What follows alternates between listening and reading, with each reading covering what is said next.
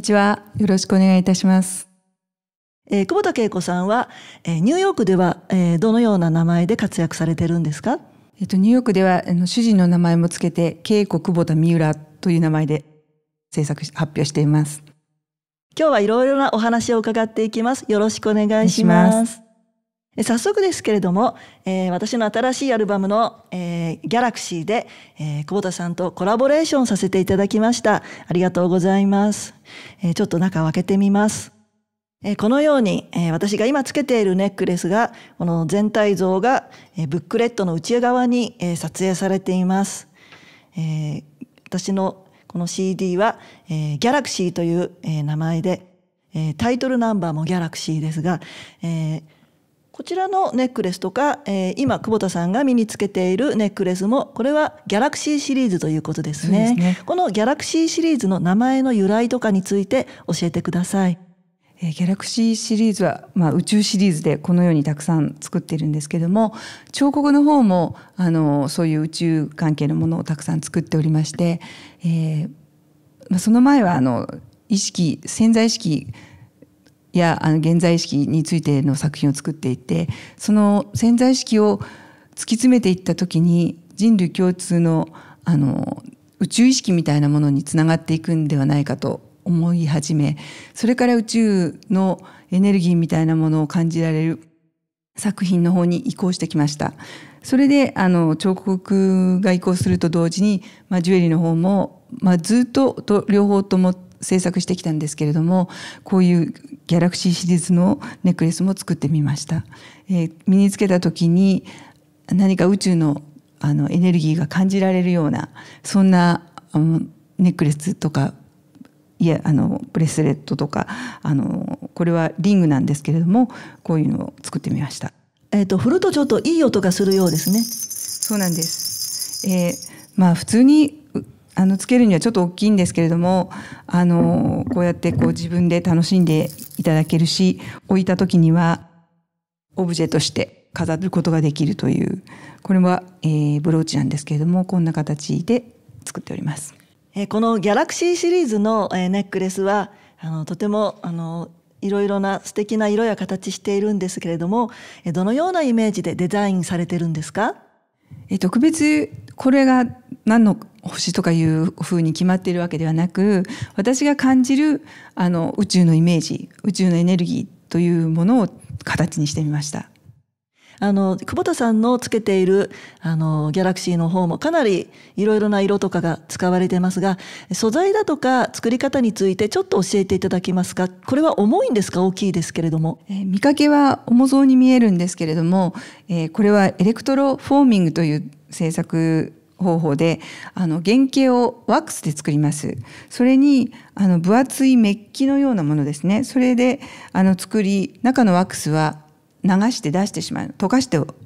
してしまいます。それでそれだけですと柔らか薄すぎて潰れてしまうので中にあのフォームを流し込んで中で膨らましてあの形をキープするようにしています。そうすると今この中にフォーム泡が入ってるということなんですか？そうですね。硬くなった泡が入っています。それは、えーと、とスポンジのようなものなんでしょうか？ではなくあの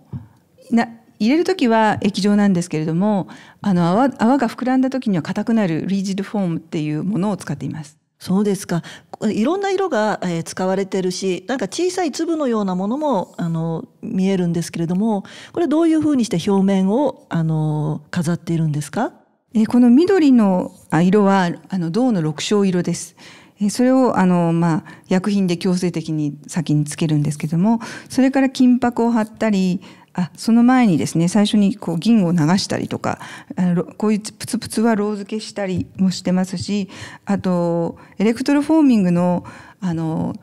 電流を流すのを少し強くしてわざとこうブツブツがつくようにしたりしています。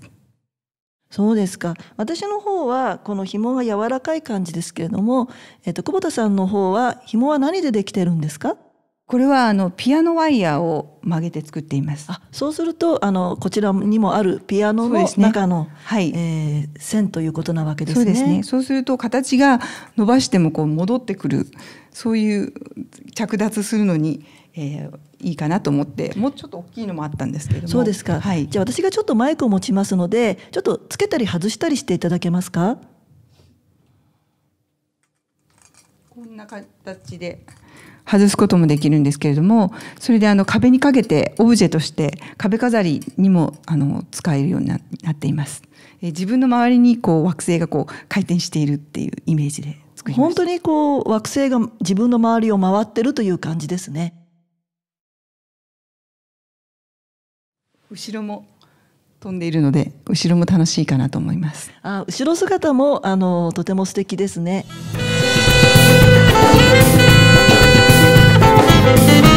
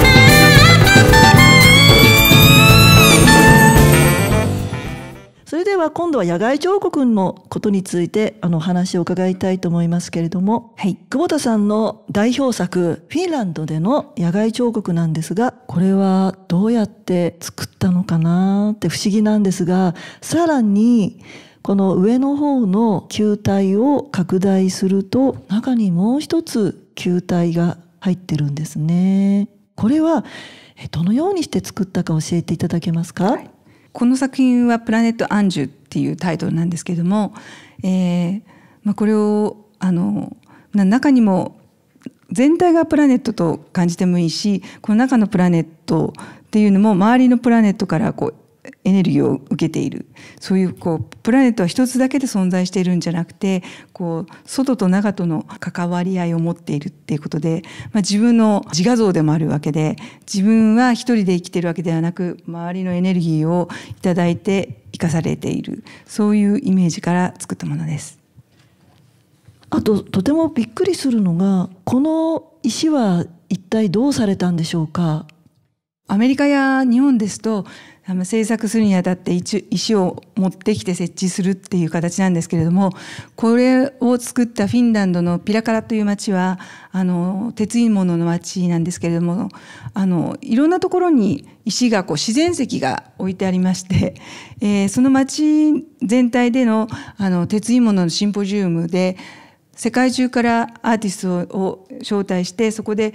鉄鋳物の作品を置いてもらうっていうことでで皆さんでそのロケーションを見に行って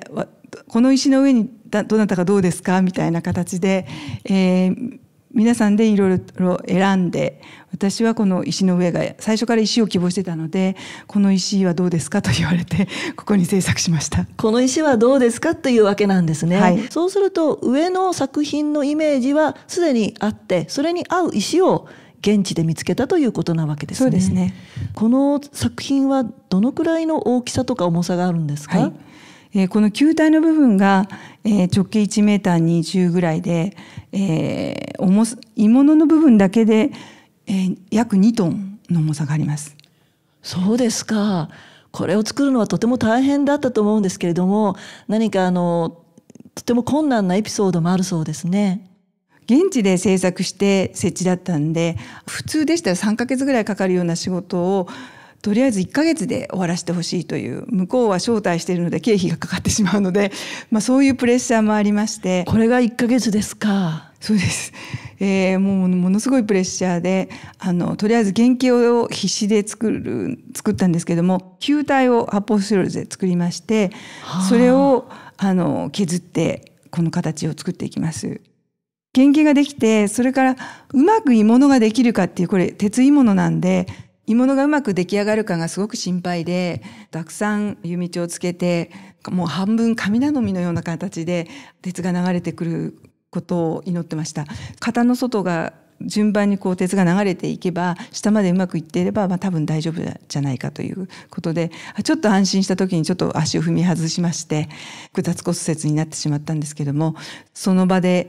入院手術っていう形になってしまい仕上げて設置するとこまでやってきました。そうすると、えー、制作期間が1ヶ月しかないのにその途中で、えー、入院手術をしたわけなんですね。5日間5日間入院手術でした多分日本だと10日ぐらい入院させてもらうかなと思ったんですけども出てきたらやっぱり人に頼んでるとなかなか仕事がはかどっていなくて、えー、やっぱり自分がやんなきゃダメかなっていうことで、まあ、あの松葉杖とか車椅子とかを酷使しながらあの、アシスタントの人にああしてこうしてとか自分でもまあグラインダーで周りを表面を削ったりとか加工したりとかあのやりました。松葉杖でその道具を使って制作するわけですがどのようにして行ったんですか？バックパックに入れて金槌とかあのグラインダーとかを入れてそれで担いで松葉杖で移動して それをまた置いて椅子を持ってきて座ってそれでグラインダーを削るというまあとても大変な作業で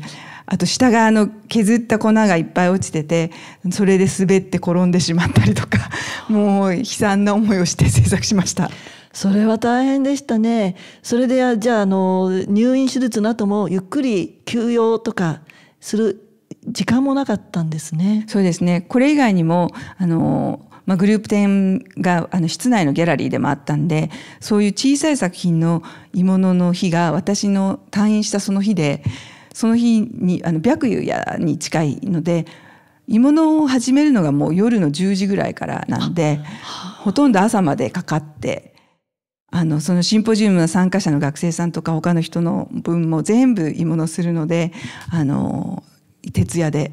そうすると複雑骨折して入院手術して退院してすぐその日のうちに徹夜ですか？そうですね。で私は仕事ができないのに何をするかっていうとどれだけのコークスを入れたかとか鉄の溶けていく順番とか言ってタイムキーパーみたいな形でこう記録を取る係をやれとか言われていやまあ過酷だなとか思いながら。それは過酷でしたね。それでその車椅子のまま、えーまあ、無事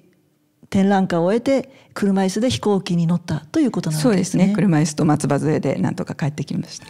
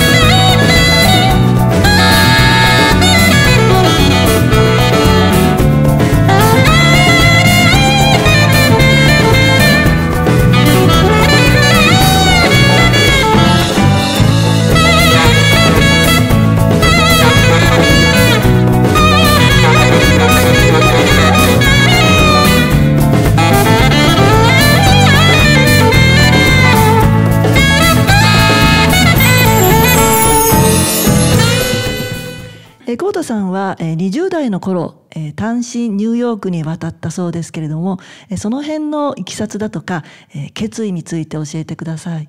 日本の彫金会っていうかアートの世界は男尊女卑というか男の世界だったんですね。私がいた頃は、まあ、今も多少その傾向あると思うんですけれども。兄がアメリカに留学していてアーティストになりたいんだったらアメリカもいいんじゃないのと言われて、えー、行ってみましたらアメリカ自体はそれほど好きじゃなかったんですけどもニューヨークはやっぱりちょっと特別な感じであのみんな外国人なので誰でも、まあ、ここだったら私もフィットできるような気がしてしまってアーティストで生きている人たちがたくさんいるんですね。日本だとやっぱり学校の先生をしたりとか何か副業を持たないとアーティストっていうのはなかなか難しいんですけれどもそういうあ本当のアーティストっていう人たちに巡り合っていやこれは面白いなと思ってあの自分の方向性をみあの考えている時だったのですごく刺激になって私もそういう生き方ができるかなという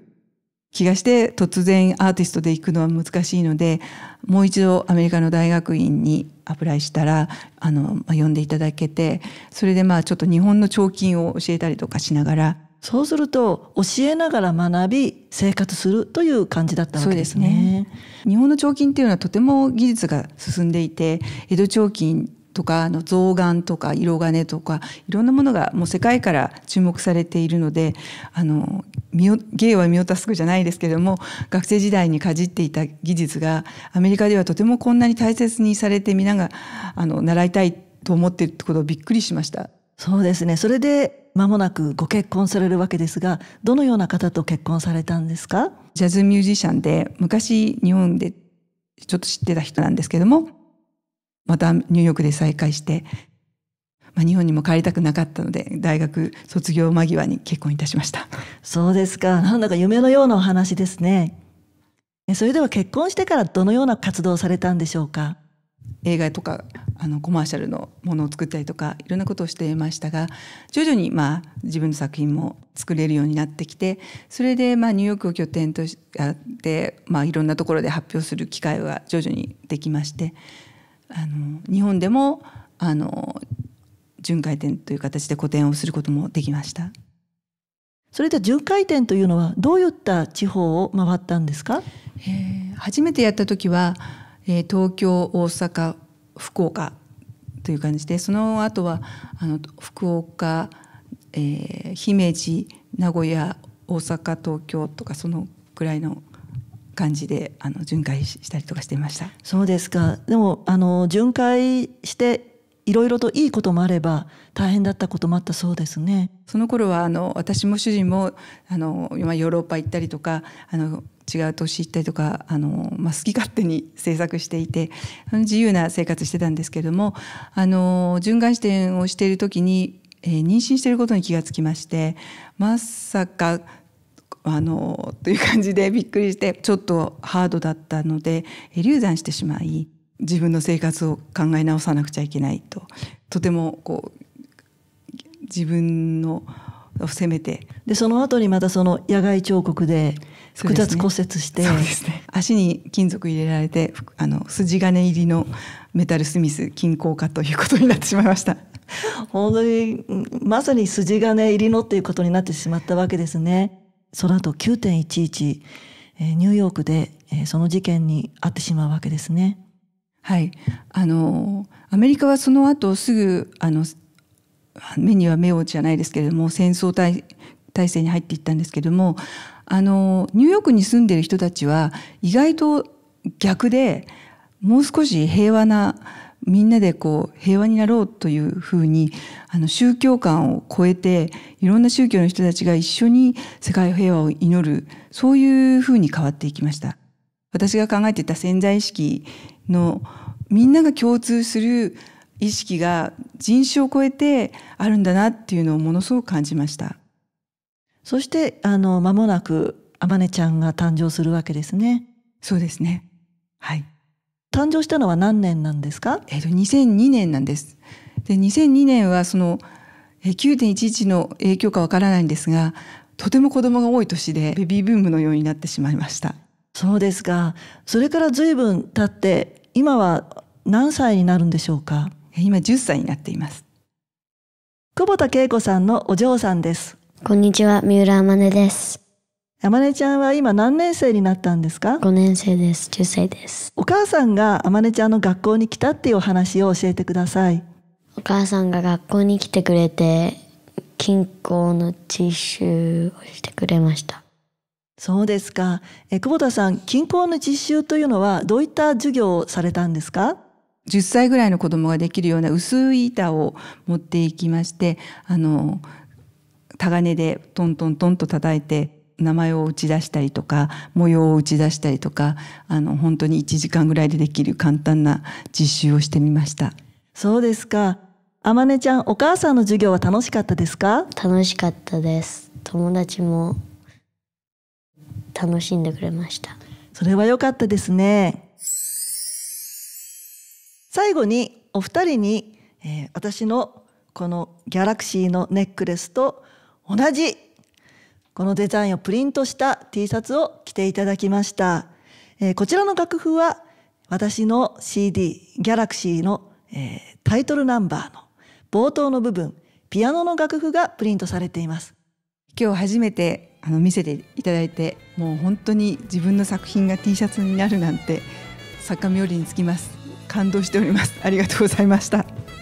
今日はニューヨーク在住のメタルアーティスト久保田恵子さんとお嬢さんのあまねさんにお越しいただきました。ありがとうございました。ありがとうございました。さようなら